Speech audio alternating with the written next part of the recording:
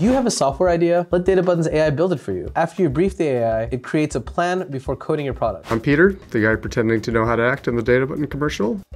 And I'm going to try and make a marketing tool with DataButton. I've put the prompts into DataButton and it's created this task list for me. So we're going to run through the tasks and uh, see how we do. First task, create a landing page with app overview and key features. Start task and it's already cooking. It's kind of nice about this is it's just kind of cooking in the background. I just let it know when I want to change something. And it's done. And we have a lovely looking landing page. Key features, Airtable integration, real-time tracking. Check the preview, see what it looks like in desktop, tablet, phone. Five minutes, and we're on to the next task. Let's go. So we're gonna add authentication via Firebase so that our marketing tool is gonna have authentication. Add Firebase up here.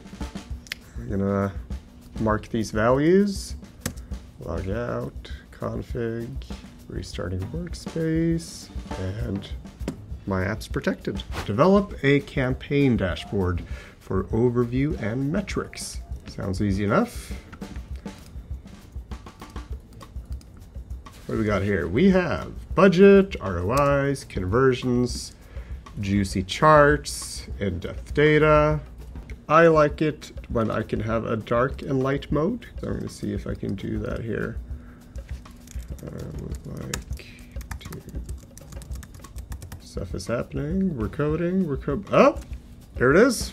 Dark mode. What's the app you've always wanted to build? Build it today with Data DataButton.